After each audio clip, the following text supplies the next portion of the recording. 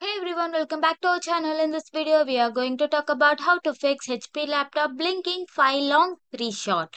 When your HP laptop blinks 5 long and 3 short, it typically indicates a system board issue or a problem with the embedded control not being able to search the BIOS within the established limit time. Here are some tips you can try to fix the issue.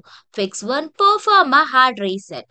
Turn off your laptop, disconnect the power adapter and remove the battery if it is removable.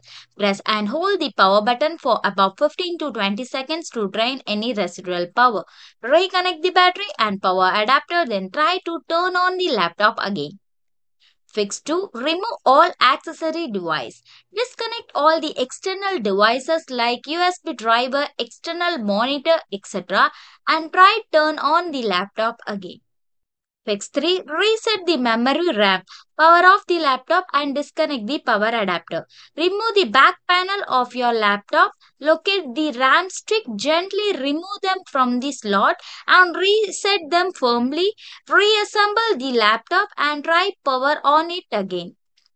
Fix 4 BIOS recovery. Power off the laptop. Press and hold the Windows key plus B while pressing the power button for about 2 to 3 seconds.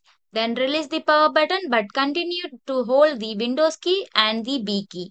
If the BIOS recovery screen appear, follow the on-screen instruction to recover the BIOS.